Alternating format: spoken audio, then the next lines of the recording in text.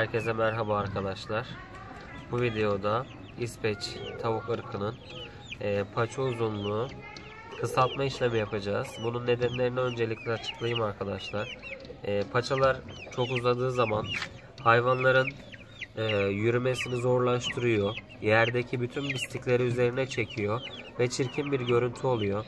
Hayvanın daha güzel hareket edebilmesi için bu paçaları kısaltıyoruz.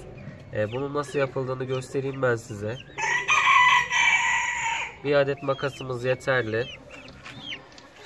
Şimdi yakınlaştıralım. Dur kızım. Şimdi görmüş olduğunuz paçalar bir saniye. Şimdi görmüş olduğunuz paçalar düzensiz gözüküyorlar. Bunları eşit boyda ayarlayalım. Hem şu şekilde hepsini eşit boy yapabilirsiniz. Böylelikle hayvan e, daha rahat hareket edecektir. Normal İsveçlerin paçaları tabii ki de e, bir karış kadar uzayabiliyor. Ben sürekli kısalttığım için şu an kısaydı. E, tekrar düzenledim. Diğer ayağına geçecek olursak şu şekilde diğer paçasını da eşit kısmından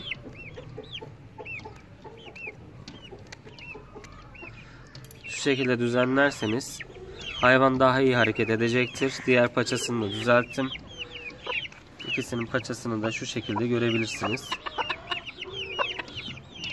Böylelikle düzenli bir şekilde görünür ve çok fazla pislik tutmaz. Hayvan da kümes içerisinde çok rahat bir şekilde hareket eder. Aynı şeyi eee, şurada biriken paçalar içinde çok uzarsa yapabilirsiniz ama ben gerek duymuyorum. Eee, bunun eşi horozumuzun da paçalarını ben kısaltmıştım. Nasıl kısalttım onu da göstereyim. Bir saniye.